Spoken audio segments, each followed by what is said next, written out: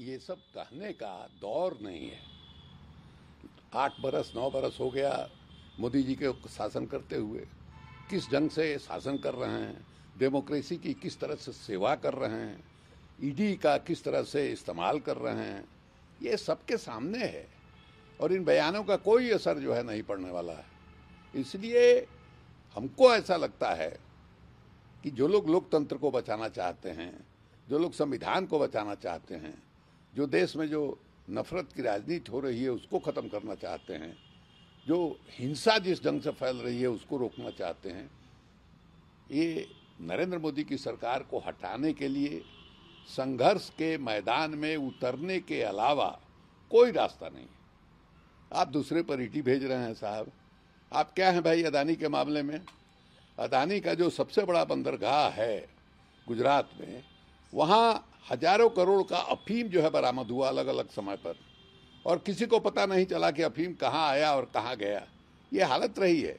सारा बंदरगाह, सारा हवाई अड्डा, बिजली कारखाना, सब कुछ आप उसके हाथ में सौंप रहे हैं।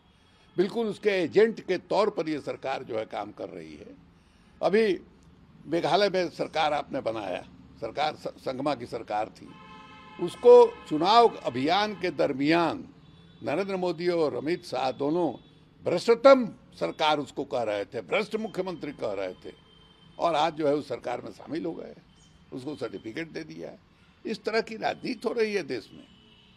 अभी पार्लियामेंट को किस ढंग से, मैंने रिडंडेंट किया जाए, निरर्थक उसको बनाया जाए, इसके लिए धनखड़ साहब को वहाँ बैठा दिया है। अब देखिएगा, आप जो है राहुल गांधी की मेमोरी खत्म की जाए, उन्होंने विदेश में, देश का अपमान किया है निशिकांत दुबे, एक एक एक एक, माने सांसद गोडा वाला, उसका बयान आया है।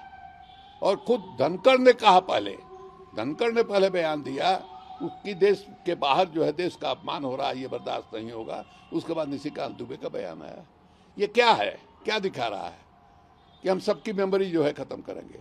तो आप जो है, खाली बयान दे करके खड़गे साहब का बयान हो या किसी और का बयान हो आप चाहिएगा कि जो बेपटरी दिखाई दे रहा है सब कुछ, वो सब पटरी पर आ जाएगा। हमको लगता है कि ये, मैंने हसीन सपना देखना है, मुंगेरी लाल वाला जो सपना कहलाता है।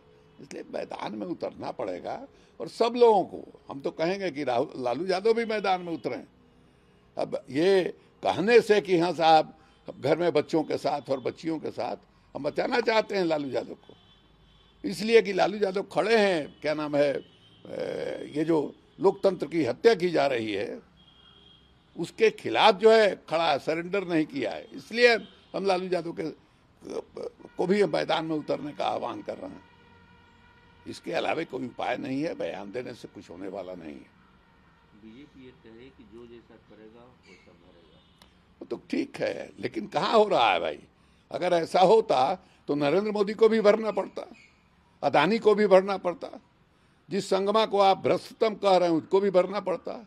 हेमंत विश्वास शर्मा जो जिनके ऊपर कि, कितने तरह का आरोप था आज वो मुख्यमंत्री बन के राज कर रहे हैं भाई उन्होंने जैसा किया वैसा भोगना तो नहीं पड़ा। तो हम भी चाहते हैं भारतीय जनता पार्टी जो कह रही है कि जो जैसा करेगा उसको भरना पड़ेगा ये ईमानदारी के साथ देश में लागू हो जाए। हम उसका स्वागत करेंगे। लेकिन ऐसा नहीं कि हम जो है मैंने पाक में डूबे हुए हैं और आप दूध के धुले में हुए और सब एक ही काम कर रहे हैं।